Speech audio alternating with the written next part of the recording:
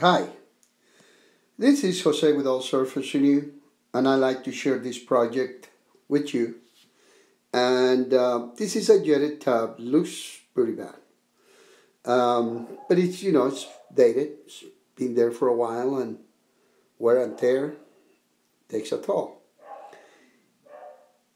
As you can see, they had problems in the caulking around the tub so they really got very aggressive and uh, stuck these pieces of wood all the way around just so they wouldn't have any problems anymore.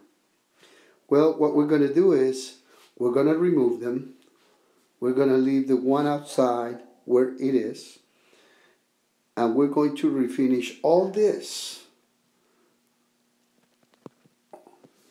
to the same existing color so it looks something like the vanity, so it doesn't look different from anywhere else. So anyway, this is what we're doing.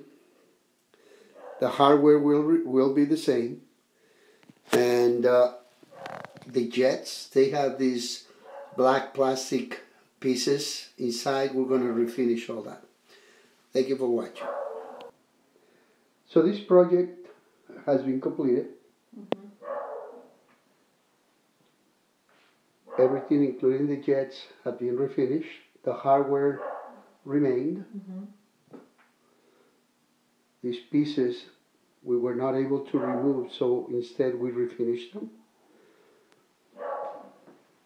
We left that piece outside. It's all caulked up and covered.